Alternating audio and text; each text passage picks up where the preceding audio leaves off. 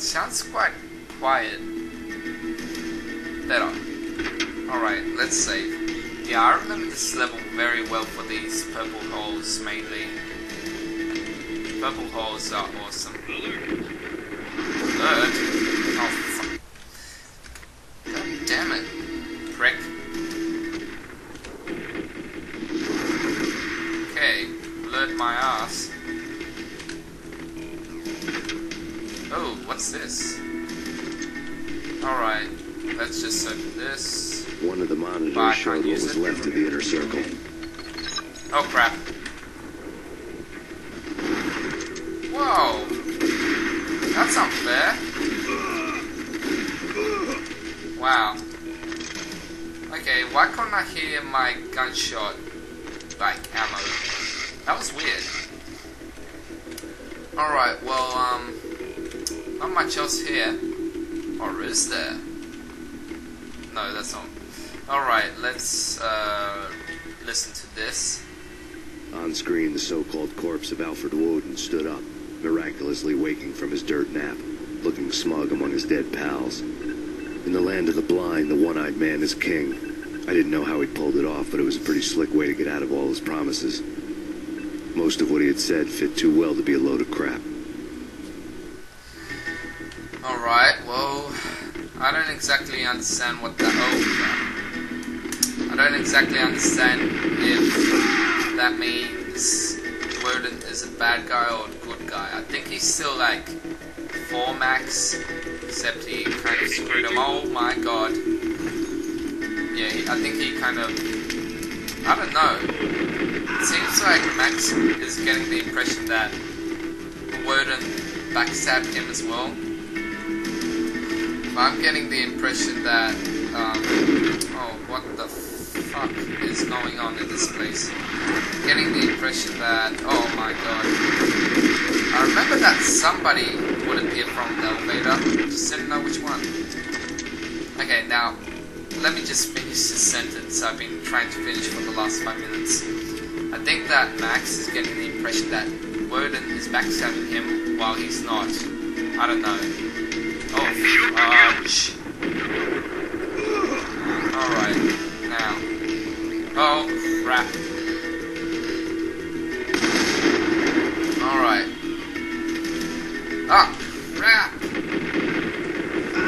God damn it! Why? Why are there people? Oh. Alright, well. Oh, piss off.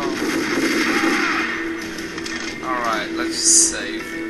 Alright, um, another thing I want to say is that the other night I saw the Max Payne movie um, on DVD, and many people have said in the past that the movie sucked ass, like really sucked dick at 20 different angles. Um, so I saw the movie myself, I myself found the movie. Um, how do I explain it? It's not a good movie, alright?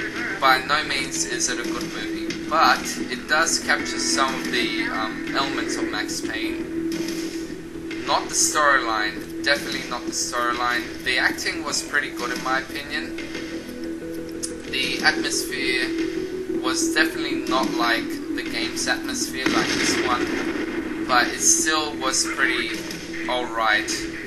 Um, either ways, the movie wasn't too bad. You watch it once, but that's about the maximum amount of times you can actually watch the movie. Because it's just not a great movie, by no means. If it was a good movie, well, I'd watch it again, because it's Max Payne. Oh. Yeah, but the storyline in the movie is completely screwed over. Nothing, like only a few percent of the actual game is in the movie. Like the actual storyline of the game is in the movie. Most of it is made up. Like Max Payne seems to have no friends in the movie at all, while in real life he's got friends like Alex Balder and like everything like that. But yeah, let's just listen to this. And what is your answer to those saying that he's actually providing a service long overdue to the city?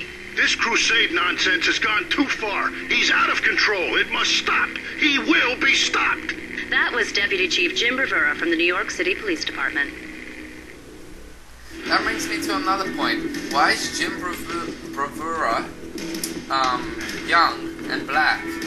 He's meant to be old and white. And why are they all of a sudden getting all these famous rappers and singers? Like, I saw Nelly Furtado in the movie, bloody uh, Ludacris. Who else is, is in the. Um, well, Beau Bridges is a good actor. Uh, that's like a highlight of the film. Mark Wahlberg's not that bad, but he, he just doesn't fit for the movie. He's not, he doesn't have the voice. He's got the acting skills, definitely, but not the voice. No way. No way in hell has Mark Wahlberg got the voice for Max Payne. They should have put someone like, um, Okay, I don't think there's any actor in Hollywood that actually fits Max Payne's um, voice Well, let's kill these people. I don't like them. Holy crap, I almost died. Alright, well, yeah.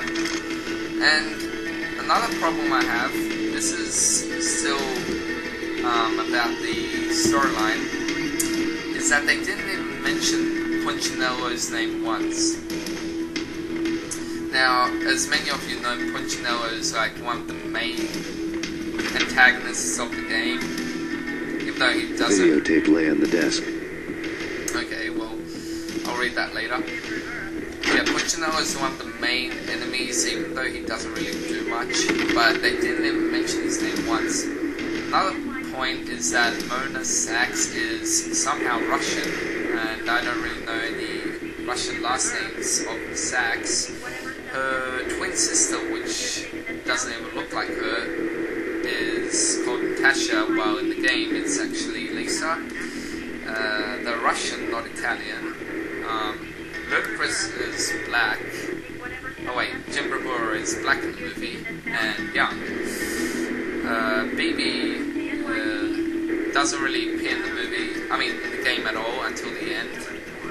Um, Nicole Horne is the bad, well, girl, I guess, and she any role in the film. Alex Balder and Max Payne are enemies. However, in the game they're friends. Um, the list goes on. I'm just saying like differences from the movie and the game. Come on, what the hell does? Oh, there we go. Nicole Horne had blackmailed the inner circle into silence. The tape came with a curt extortion note on a piece of expensive paper. I remembered Candy Dawn taping her clients in action on the side, selling the tapes to the highest bidder. I was sure that kinky sex was nowhere near Alfred Woden's worst sin. But I had a feeling that when this was over, any collateral would come in handy. Alright, that makes sense then. Seems that Alfred Woden can't do shit to anyone. had left me a present. Yeah, Alfred Woden can't do shit to anyone because Nicole Horne has a sex tape with him. Oh well. Come on, I need to read this. Woden had taken care of my mission preps with military precision. The critical areas in the Aesir Corporation headquarters blueprints were circled in red. The president's office was at the top of the building, right below her penthouse suite. The elevators were controlled by a security computer, part of the mainframe located underground below the building. The high rise was sealed as tight as a sci fi fortress. Alright. We have a lot of shit on our hands. Oh, it's working. Nothing seems to stop Aesir Corporation's phenomenal victory march. Incredibly, the stocks are still rocketing. Worried experts already see a danger in the company's success. Some have gone as far as to say that Aesir Corporation is about to become an even bigger monopoly than Microsoft ever was. than Microsoft ever was. I heard that. Well, Microsoft isn't really that big anymore. Um, they had its fair share of like fame now the stocks are going down very fast, and they don't really have any shit to prove anymore. And they're trying to um, combine with Yahoo to create a engine, sorry, an engine to beat Google's search engine, which is a desperate move by Microsoft and Yahoo. Well, not really Yahoo, because Yahoo make more money from it. But still. Alright, now what? Oh, perfect. It's attacking, god damn it.